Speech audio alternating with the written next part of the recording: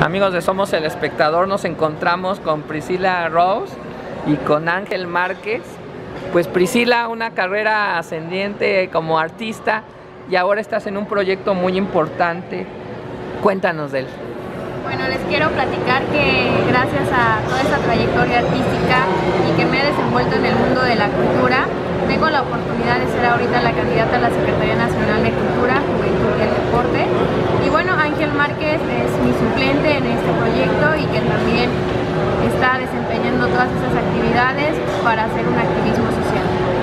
Priscila, eres muy joven, pero sin embargo, si alguien conoce de cultura eres tú, has sido representante de México a nivel internacional y siempre se ha dicho que México es un país rico en todos aspectos.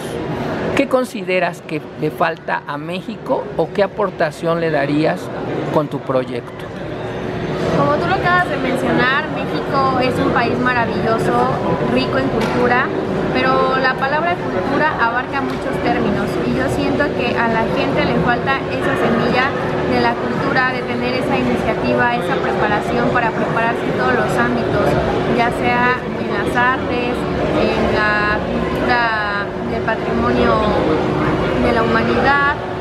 Eh, muchísimas ramas, pero la gente debe de tener como esa sensibilidad de querer seguir avanzando porque eso parte a muchas cosas como lo es la educación y otras actividades. Ángel, estas deficiencias que tiene la, la cultura, pero más que nada el promover la cultura, se tratará de que la cultura en México ha sido secuestrada por particulares y el Estado no ha cumplido una función eficaz.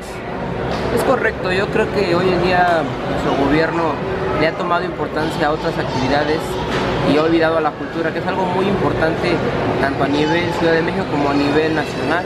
Y hoy en día los jóvenes no conocen muchas cosas que tenemos aquí en la ciudad y que quieren prefieren salir del país sin conocer realmente lo que tenemos aquí, cuál es nuestra verdadera cultura. Priscila, hay una desesperación porque pues vienen las buenas intenciones y el PRI ha sido un partido que pues ha, ha hecho un gran esfuerzo en la cultura, ha habido torneos de box, ha habido torneos de fútbol, ha habido eventos culturales, pero ¿qué ha faltado para realmente dar ese paso en que las clases bajas tengan acceso a la cultura? Porque muchas veces se habla de economía, pero una persona que tiene un salario mínimo a veces va a un estadio de fútbol. ¿Por qué no ese acercamiento con la cultura? Bueno, tú lo acabas de comentar y también eh, mi compañero Ángel Márquez. Lamentablemente muchas personas, tanto niños, jóvenes, el adulto mayor, no tienen un acercamiento a la cultura.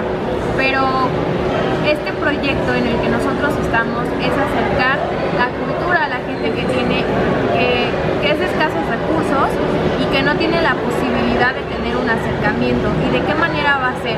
Hay muchísimos proyectos entre nuestro proyecto que nosotros elaboramos traemos 250 programas del gobierno federal y convenios con algunas instituciones para apoyar a todas las personas y hacer un impacto social.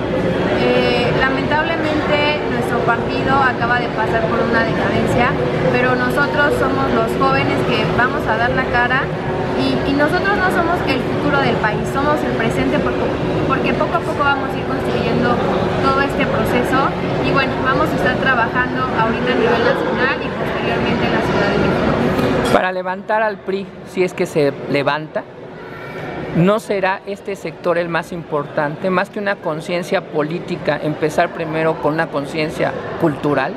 Así es, primero es la conciencia cultural y de ahí parte la conciencia política de la participación ciudadana y la democracia, que conozcan los valores y principios de nuestros partidos, si ellos quieren ser simpatizantes o militantes, están en su derecho y también existe la libertad de que se vayan a otro partido. Este proyecto de la Secretaría Nacional de Cultura, Juventud y el Deporte se le va a apoyar a toda la gente sin distinción de partido. ¿Cómo defender un proyecto de un partido que en este momento no tiene la fuerza política que tenía antes con el auxilio del presidente de la República. Pues yo creo que la mejor estrategia es poder empezar desde cero. Ya se tocó fondo, se perdió todo, es momento de hacer una reestructuración.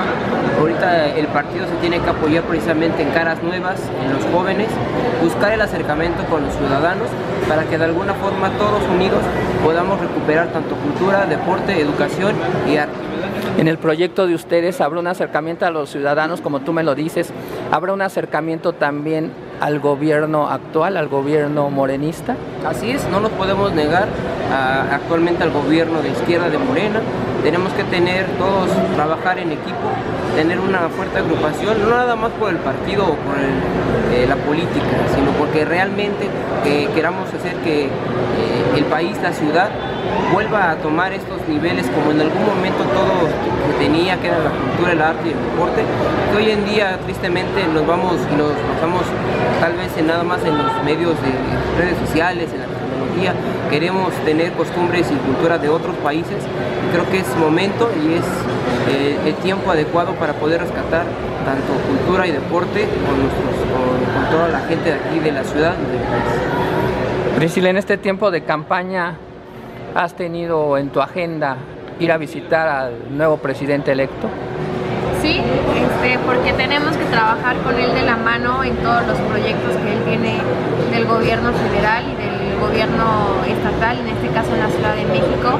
Tenemos que ver cómo van a quedar las posiciones y cómo va a ser este cambio de transición en, el caso de Conaculta, el IMBA, la Secretaría de Cultura, para poder, con el INCUBE y la CONADE, para poder bajar algunos recursos para poder seguir sustentando este proyecto. ¿Repetirías la estrategia que se dio en la cultura con el PRI en, en este sexenio que está por terminar? No, yo creo que ya es tiempo de hacer modificaciones, de hacer cambios, porque viene una nueva estructura. Ya estamos cansados de un sistema, de un método que a final de cuentas no tuvo un resultado. Entonces hay que probar nuevas plataformas para obtener diferentes resultados. El licenciado Enrique Peña Nieto falló en este sector, en este factor cultural en su sexenio, o cómo lo consideras? Yo considero que lo abandonó. Realmente, como nos repetía, él se basó en otras cosas aquí en el país, tal vez con las cosas del petróleo, con el tema de la gasolina, pero realmente temas que también a los mexicanos nos importaban mucho, como, no sé, la reestructuración de algunos museos, los parques, algunos deportivos eh, emblemáticos de la Ciudad de México los tiene totalmente abandonados. Uno de los ejemplos que yo te pudiera mencionar es el, Deportivo Ferrocarrilero, que en los años 80 era la verdad la sensación y hoy en día tú lo puedes ir a ver y está en decadencia, está en abandono, lleno de gente, tristemente donde vive gente de la calle y así muchos deportivos podemos encontrar. En la parte de cultura, como te mencionaba, muchos museos totalmente también en el abandono. Yo creo que por este lado sí el presidente eh, abandonó, abandonó la parte de cultura y creo que ahora con el nuevo gobierno, con el señor López Obrador, es momento de sentarnos, platicar con él, tener nuevas iniciativas, nuevas propuestas jóvenes y originales.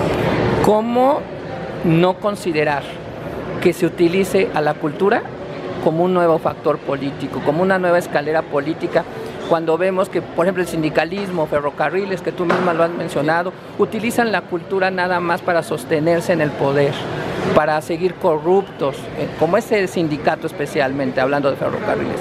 ¿Cómo separar que este proyecto cultural no sea un proyecto político y electorero? Bueno, obviamente se puede tomar como un impulso político, pero esto realmente en la cultura lo tenemos que meter con el tema de educación.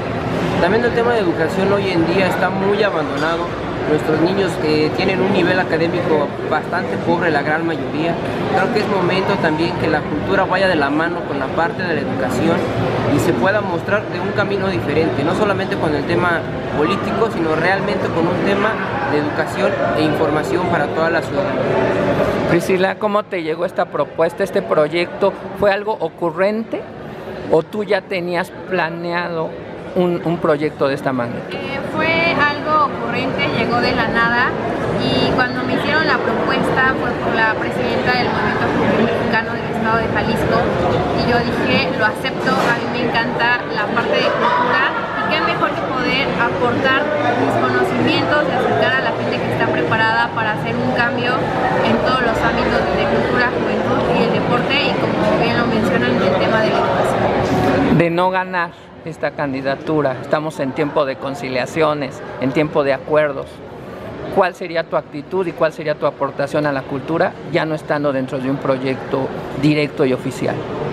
Eh, mi, mi proyecto va a seguir de la mano, voy a seguir trabajando con la gente, con todas las personas que me he reunido y que me han brindado la confianza y que me han estado apoyando en este proyecto. Les mando un saludo a toda la gente del bello Estado de México, de la Ciudad de México, del Estado de Puebla, de Hidalgo, del norte de Jalisco, de Coahuila, que yo los voy a seguir apoyando, les voy a dar asesoría y les, y les voy a brindar ese acercamiento para que todos ustedes sean beneficiados a través de todos estos proyectos. Tú eres un artista.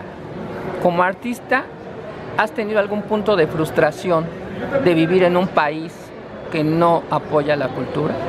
Por supuesto, lamentablemente eh, te- estamos los artistas dentro de algunos sindicatos que no recibimos todo el apoyo, solamente nos piden estar cotizando y estar presentes y activos, pero ellos no buscan un beneficio para nosotros como un espacio,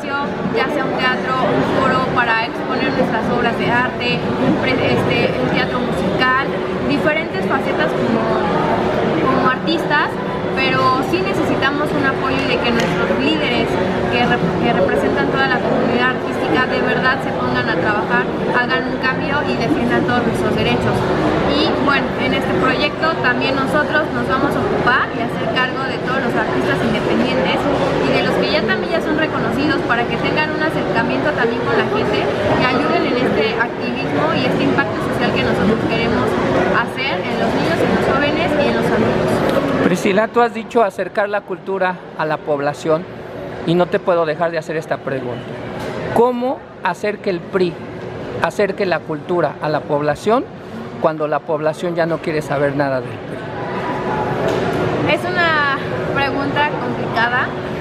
Lo único que les puedo decir es que nosotros les vamos a brindar todo el apoyo sin hacer distinción de colores, de partidos, sean de- del grupo o de la organización a la que pertenezcan, nosotros los vamos a apoyar.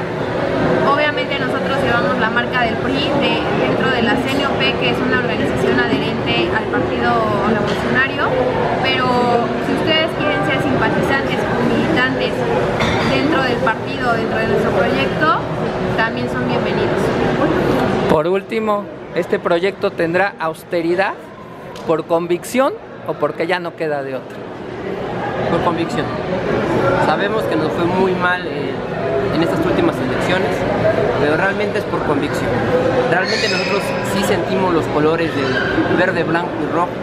Queremos recuperar lo bueno que se ha hecho eh, los años en el partido y ahora sí que con el apoyo del partido y con los jóvenes que también han llegado caras nuevas, lo vamos a trabajar, lo vamos a realizar de la mejor manera. Muchas gracias por. ¿Desde dónde nació, de dónde nació ese interés por la austeridad de pronto, tan repentino? Desde que conocimos, eh, cuando llegamos al partido empezamos a ver las cosas, digamos, buenas y las cosas no tan, no tan buenas.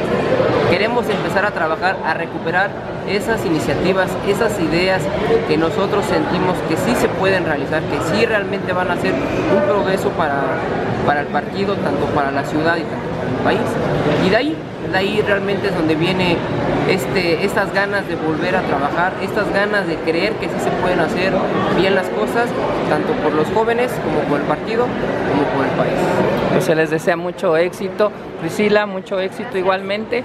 ¿Qué días serán estas votaciones que serán fundamentales para ayudar a la cultura de este país? El día 17 de agosto de- del año en curso termina la, la campaña, fue un mes de arduo trabajo y bueno, en 22 días nos entregan los resultados y yo les quiero decir que de verdad muchísimas gracias por todo su apoyo. Soy una joven comprometida con mi gente, con la cultura, con la educación, con la juventud de mi país. Entonces estoy para servirles, para apoyarlos y demostrarles que realmente los jóvenes tenemos nuevas iniciativas y tenemos la capacidad de gobernar. Pues enhorabuena, has demostrado tu aportación por la cultura y te deseamos el mejor de los éxitos. Muchas gracias, hasta luego.